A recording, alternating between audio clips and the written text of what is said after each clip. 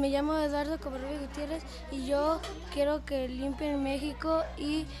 y, y no violencia